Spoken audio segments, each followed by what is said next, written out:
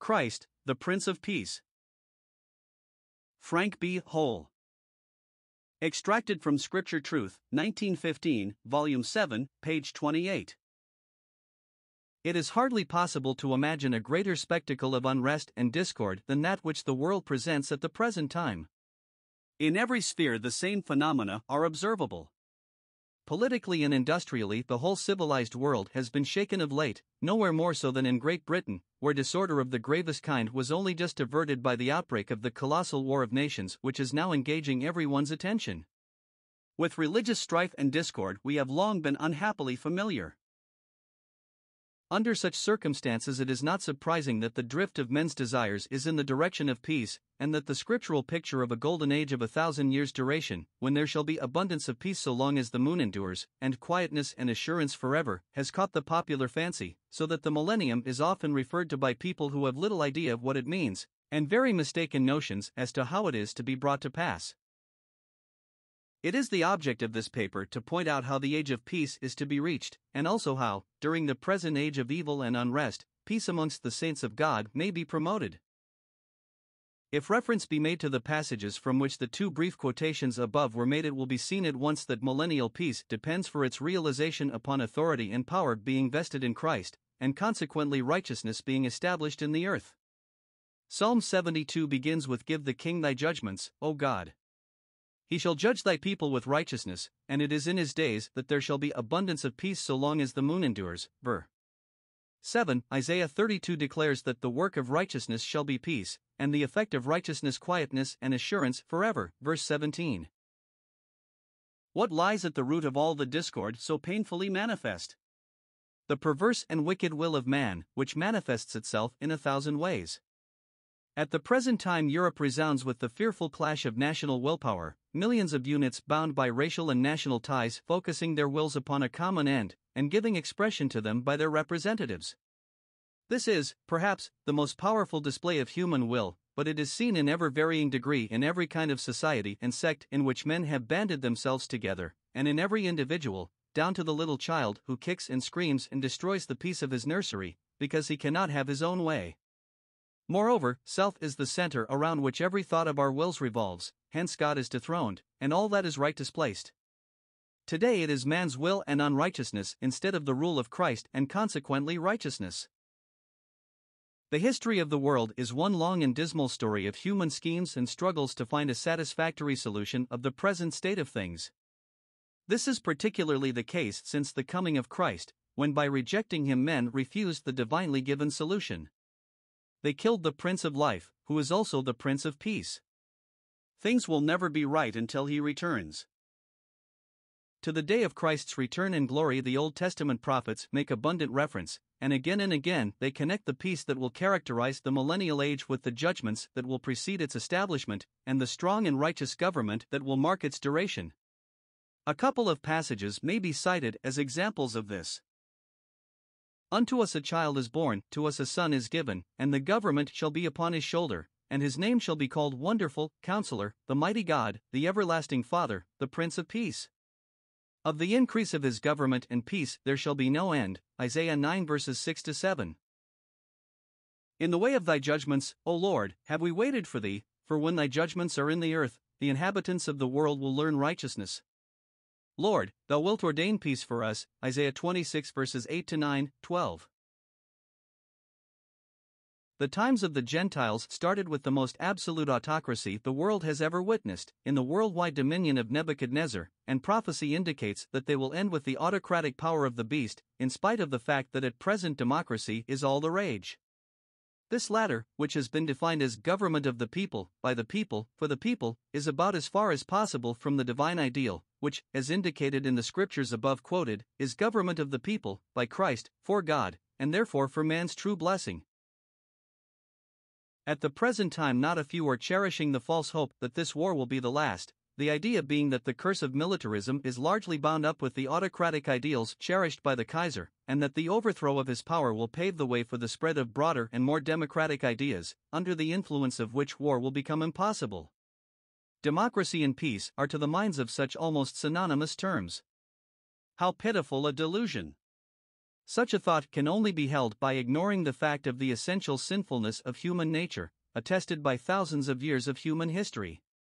The idea is denied also by experience, for the only time in the past when pure democracy held sway blazes like a lurid beacon of warning upon the page of history, I refer to the Great French Revolution, with its reign of terror. Last, but not least, it is absolutely denied by Scripture. I refer to these matters because they are by no means unimportant for the Christian. Far too many of God's saints have never seriously reviewed the position in the light of the Word of God, and hence accept these great world movements, political or otherwise, at their face value without investigation, and get caught in the current of the world. As a result, they yoke themselves unequally with unbelievers, in plain disobedience to the Word of God, and they consecrate their energies to the laborious building up of systems which the coming of Christ will destroy, just as children labor in the erecting of sandcastles, which the next tide will wash away. Would to God that each of his children were diligent and untiring in his work the work that is in keeping with his plan for this dispensation, viz. The bearing of witness to Christ to the uttermost part of the earth, Acts 1 verse 8, and the taking out of the nations, as a result, a people for his name, Acts 15 verse 14. Peace upon earth, then, will be reached when by judgments God shall remove every peace disturber, purging out of his kingdom all things that offend, it will be maintained throughout the millennial age by government exercised in the hand of Christ. The original peace of an innocent creation was broken when man forsook his allegiance to God, and by disobedience withdrew himself from his direction. It will only be regained when men come back with chastened spirits, and submit once more to the control of God. The divine purpose to gather together, or head up, in one all things in Christ, both which are in heaven, and which are on earth, will then be fulfilled. The will of that great and glorious head will prevail to the exclusion of every other will, of the increase of his government and peace there shall be no end. During the present age, the Church, which is the habitation of God by the Spirit, is left in this world of unrest as an abode of peace. Had it maintained this character with ranks unbroken, what a testimony for Christ it would have been. We cannot, however, read further than the sixth chapter of the Acts without discovering the first symptoms of that disease which has since developed into a raging and destructive epidemic. The murmuring that arose amongst the Jewish converts to Christianity because certain Greek speaking widows were neglected, as compared with their Hebrew sisters, might have seemed a small thing, in reality, it meant a great deal. When we turn to the epistles, we find that in nearly all of them some allusion is made to the danger that threatened by reason of the inveterate tendency of the flesh toward dissension, bickerings, and fratricidal strife. In some cases, such as those to the Corinthians, to Timothy, James, and 3 John, the warnings and rebukes lie upon the surface and occupy a substantial part of the epistle. In other cases, it is more a question of reading between the lines, comparatively minor allusions, showing us that the same danger threatened other churches in the apostolic age, amongst them the brightest and best. It will be sufficient to specify passages which may be referred to in verification Romans 16 verses 17 to 20, Galatians 5 verse 15, Ephesians 4. 31 to 32, Philippians 2 1 3, Philippians 4 8 9, Colossians 3 verse 13, 1 Thessalonians 4 verses 6 and 1 Thess 5 15, 2 Thessalonians 3 verses 11 to 16, Titus 3 verse 9, Hebrews 12 verses 12 to 15, 1 Peter 3 verses 8 to 9, 2 Peter 3 verse 14.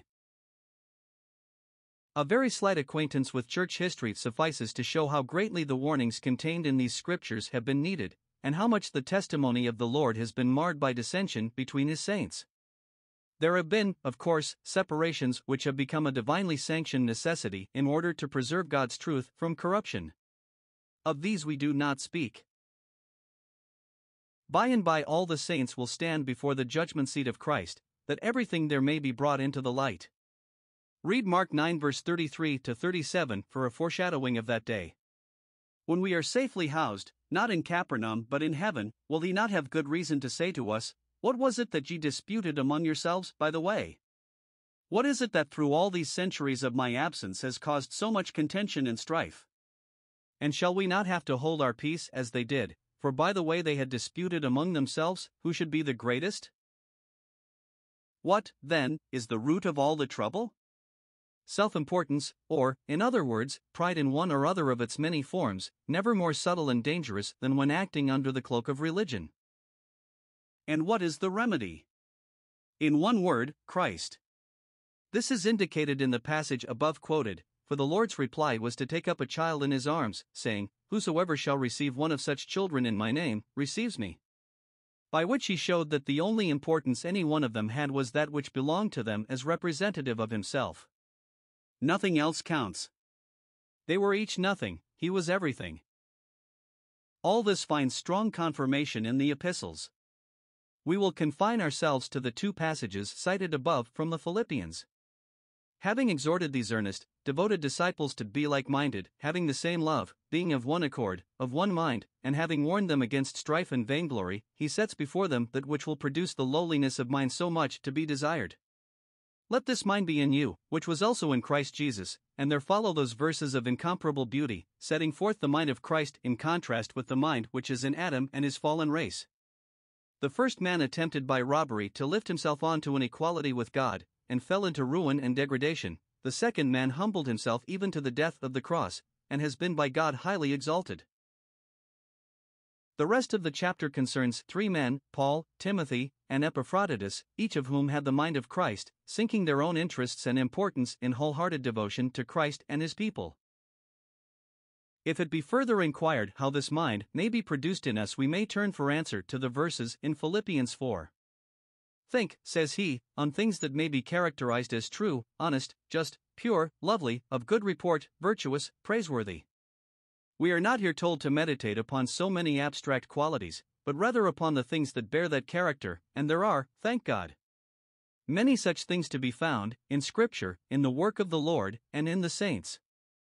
There is only one, however, in whom all these excellent qualities shine, in equal luster, Christ. Let us think, and think much, of him.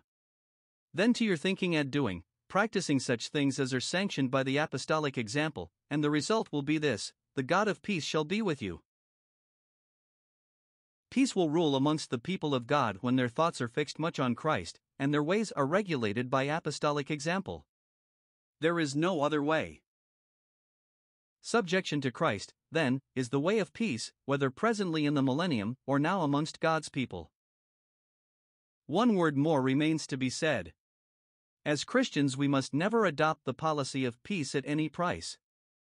To refuse to make a stand when the vital interests of Christ are at stake is an error of the first magnitude. On the other hand, let us beware of magnifying smaller matters, largely perhaps personal in character, until they become matters of grave contention. The former is the special danger of the indifferent, worldly minded believer, the latter that of the earnest and devout. Not long ago, there was a great whirl of controversy in the Isle of Man. It concerned the sum of £1,750 to be spent in advertising the island as a pleasure resort. A wise man of the world commented on it as follows Everybody appears to agree that this is a wise outlay. The only point is whether it should be laid out at once or divided into two parts, one for now, one for later on. No doubt a grave principle is involved there always is in these peddling disputes. Men are past masters in the art of justifying their littleness by reference to principle. Anyhow, the trivial difference of opinion has been sufficient to bring the Legislative Council and the House of Keys to mortal pompous opposition, it seems too silly to be true. When I first read those words, my mind instantly traveled into a different sphere, and applying them to that which has often transpired amongst believers, I felt inclined to hang my head in shame. It does seem too silly to be true, and yet, alas, how sadly true it has been. Let us accept the rebuke, even though it come from the lips of one of those children of this world who is in his generation wiser than the children of light. Oh, for that gaze of faith fixed on Christ, that happy heart occupation with himself, which will lift us up above all such littleness, and cause a peace, heavenly in its origin, to dwell among the people of God.